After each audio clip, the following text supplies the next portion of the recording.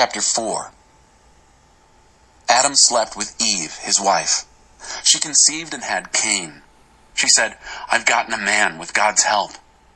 Then she had another baby, Abel. Abel was a herdsman, and Cain a farmer. Time passed. Cain brought an offering to God from the produce of his farm. Abel also brought an offering, but from the firstborn animals of his herd, choice cuts of meat.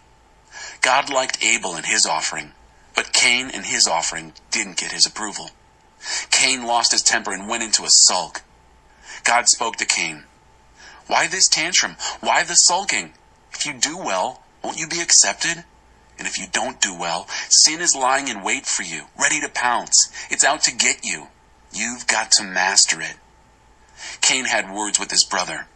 They were out in the field. Cain came at Abel, his brother, and killed him. God said to Cain, Where is Abel, your brother? He said, How should I know? Am I his babysitter? God said, What have you done? The voice of your brother's blood is calling to me from the ground. From now on, you'll get nothing but curses from this ground. You'll be driven from this ground that has opened its arms to receive the blood of your murdered brother. You'll farm this ground, but it will no longer give you its best. You'll be a homeless wanderer on earth. Cain said to God, My punishment is too much. I can't take it. You've thrown me off the land and I can never again face you. I'm a homeless wanderer on earth, and whoever finds me will kill me. God told him, No, anyone who kills Cain will pay for it seven times over.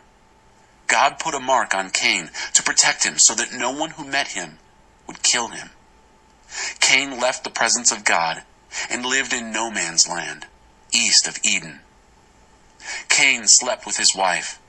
She conceived and had Enoch. He then built a city and named it after his son, Enoch. Enoch had Irad. Irad had Mehujael. Mehujael had Methushael. Methushael had Lamech. Lamech married two wives, Adah and Zillah. Adah gave birth to Jabal, the ancestor of all who live in tents and herd cattle. His brother's name was Jubal, the ancestor of all who play the lyre and flute. Zillah gave birth to Tubal Cain, who worked at the forge making bronze and iron tools. Tubal Cain's sister was Naamah.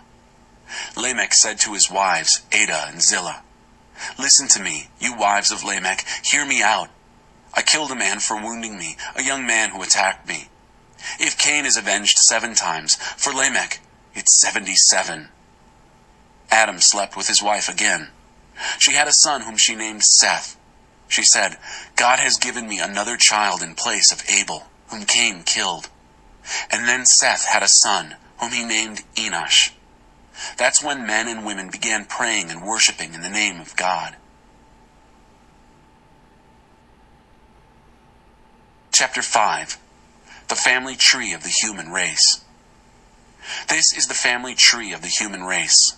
When God created the human race, he made it godlike, with a nature akin to God. He created both male and female and blessed them, the whole human race. When Adam was 130 years old, he had a son who was just like him, his very spirit and image, and named him Seth. After the birth of Seth, Adam lived another 800 years, having more sons and daughters. Adam lived a total of 930 years, and he died. When Seth was 105 years old, he had Enosh.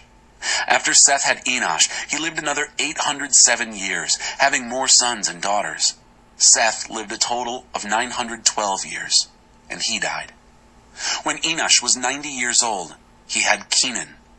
After he had Kenan, he lived another 815 years, having more sons and daughters.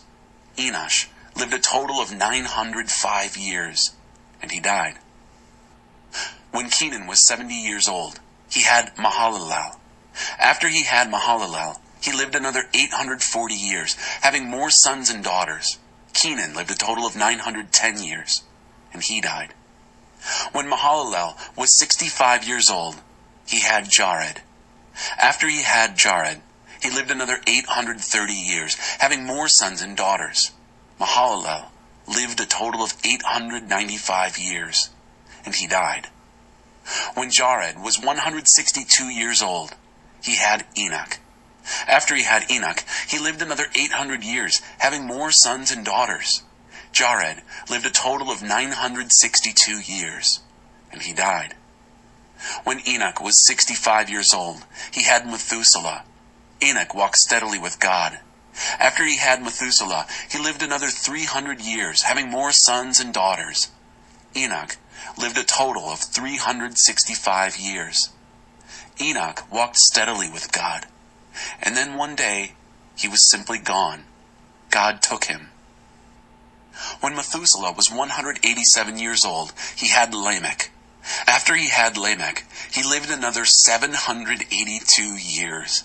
Methuselah lived a total of 969 years, and he died. When Lamech was 182 years old, he had a son. He named him Noah, saying, This one will give us a break from the hard work of farming the ground that God cursed. After Lamech had Noah, he lived another 595 years, having more sons and daughters. Lamech lived a total of 777 years, and he died. When Noah was 500 years old, he had Shem, Ham, and Japheth. Chapter 6 Giants in the Land When the human race began to increase, with more and more daughters being born, the sons of God noticed that the daughters of men were beautiful. They looked them over and picked out wives for themselves. Then God said, I'm not going to breathe life into men and women endlessly. Eventually, they're going to die. From now on, they can expect a lifespan of 120 years. This was back in the days, and also later, when there were giants in the land.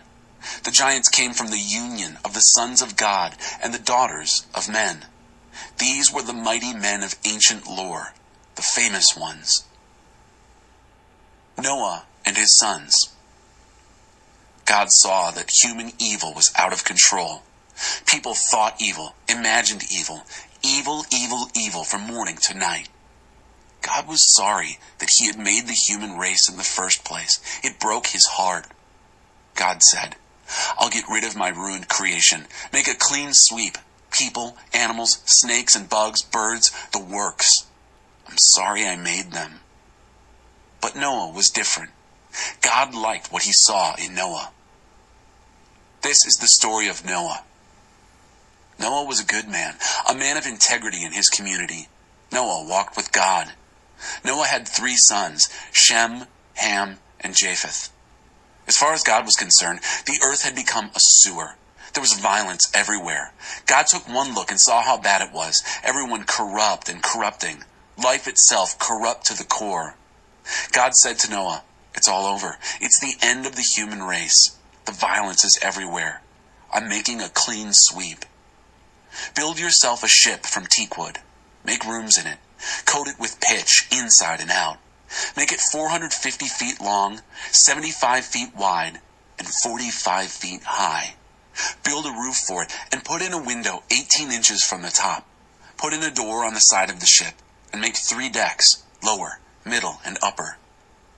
I'm going to bring a flood on the earth that will destroy everything alive under heaven, total destruction. But I'm going to establish a covenant with you. You'll board the ship, and your sons, your wife, and your sons' wives will come on board with you. You are also to take two of each living creature, a male and a female, on board the ship to preserve their lives with you. Two of every species of bird, mammal, and reptile. Two of everything so as to preserve their lives along with yours. Also, get all the food you'll need and store it up for you and them. Noah did everything God commanded him to do.